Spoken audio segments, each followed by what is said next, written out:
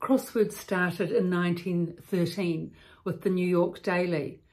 And today, millions of people start their day with their morning cognitive hit from their favourite crossword in their morning daily. Similarly, in dementia units, D3 first level dementia units, many people can do crosswords and they love to do crosswords. And it's really important that they have access to the resources of a regular subscription so that they keep, can keep that oiled cognition going, you know, on a regular basis. And if they're able to do that, they have a much higher chance of being able to organise their thinking and then with that thinking communicate clearly uh, in the unit with relatives and with residents.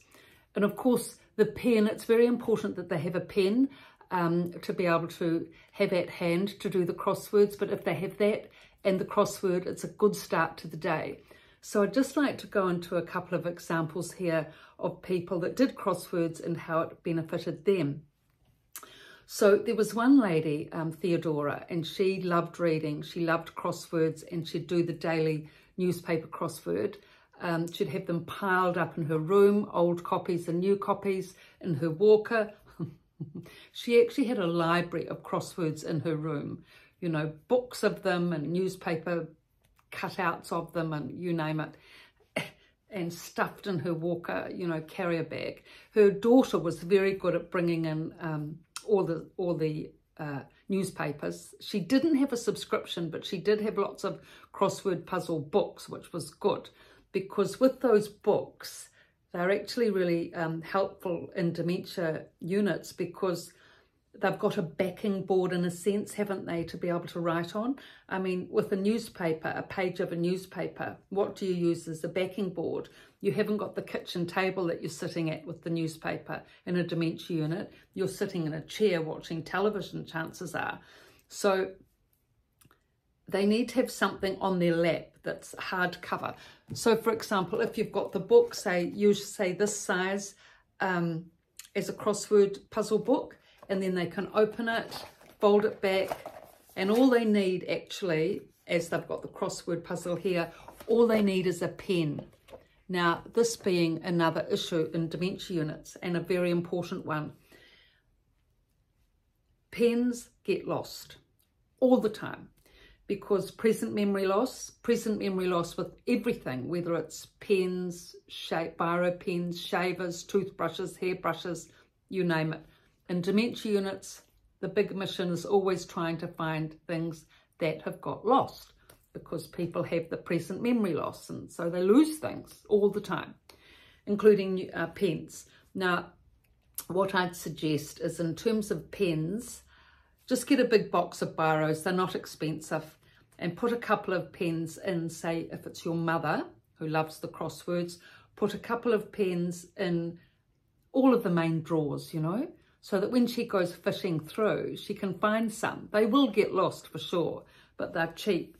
And um, if there's a whole pile around, at least then she's not stressed out trying to find one because anything, requesting anything in a dementia unit is an absolute mission, really. It takes time because everyone's so busy that even to try and find a biro, that is if they can find one because they go missing even at the nursing station, um, you know, it just takes a lot of time and energy.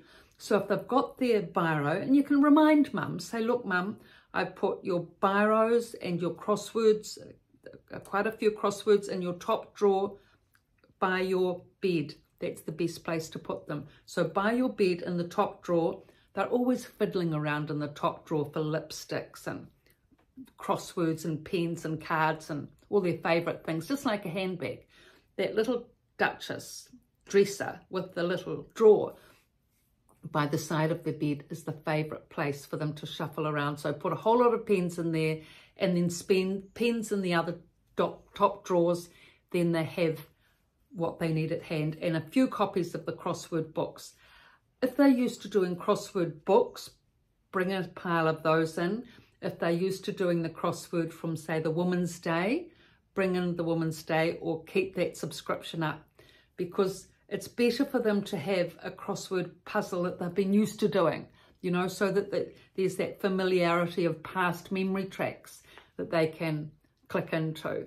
Um, newspaper uh, crosswords, you know, are rel relatively uh, easily available daily if the subscription of the newspapers continued, which hopefully it is, but it's just a little bit more difficult to organise and pack so that they've got a backing board.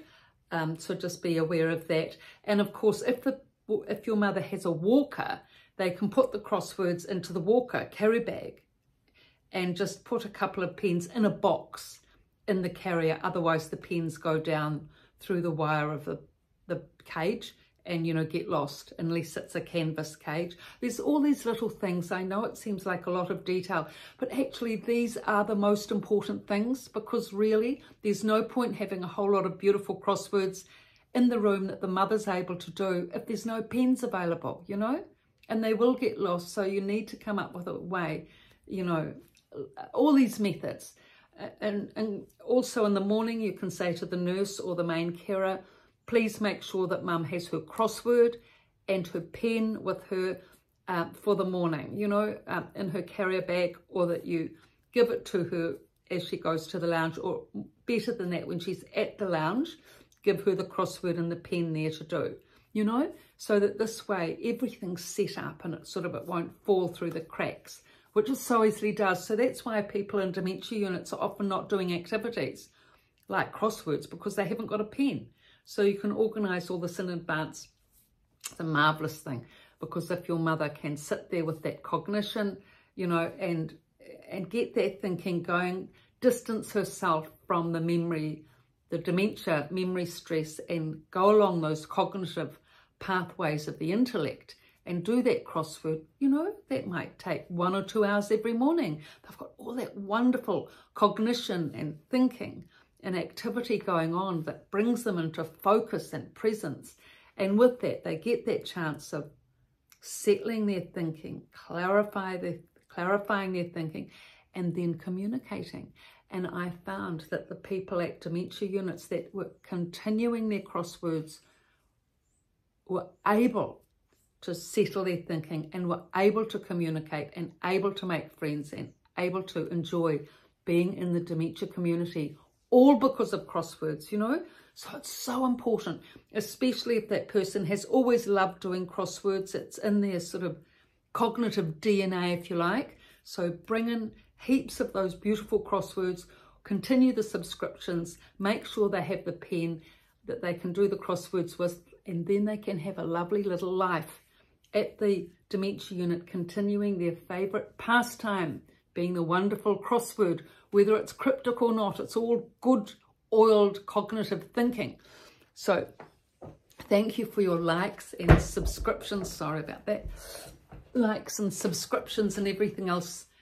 And these two books, The Resident's Voice and The Resident's Rise, both from a dementia unit, which I've written, um, both in the description below the website www.pietavalentine.com those books can be got there. So just please pass on these links um, to people, you know, that affect, are affected by dementia, especially if you know that their mother or rel relative does crosswords, you know, just so that they can be informed of all these tips and things. So thank you